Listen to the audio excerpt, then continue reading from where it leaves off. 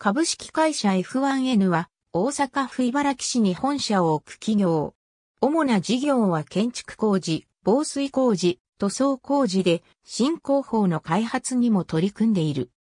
開発した主な工法として廃棄物を出さずに風呂や建物の防水工事ができる工法や2004年に開発した土壌を使わず砂苔のパネルを使って屋根や壁面を緑化する工法などがある。社名の由来は創業者の名前をもとにしている。コーポレートスローガンは移り変わる時代のニーズに応えるという意味で、オールニーズである。平成25年度の茨城市頑張る市内企業に紹介される。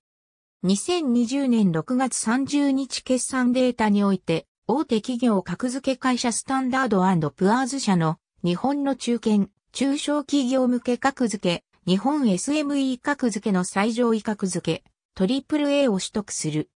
ABCDE、平成26年版東証信用6近畿、北陸版東京商工リサーチ、関西支社、2014年、218P。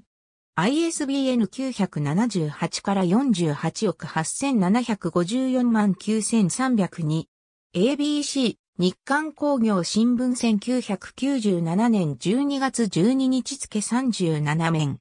壁面、屋根苔で緑化 F1N 赤電子会社が、パネル、日経産業新聞2004年10月15日付15面。土なしで、壁面も緑化既存建物でも施工できる、日経アーキテクチャ第783号、2004年11月15日、93ページ。防水と緑化のセット販売ゼネコンユーザーに直接、販売 F1N、エコパレットエコマット、環境ビジネス第31号、2005年1月。茨城市 HP 頑張る市内企業、TH や NHLP コンタイ TNHH、フォノンビエットナム。ありがとうございます。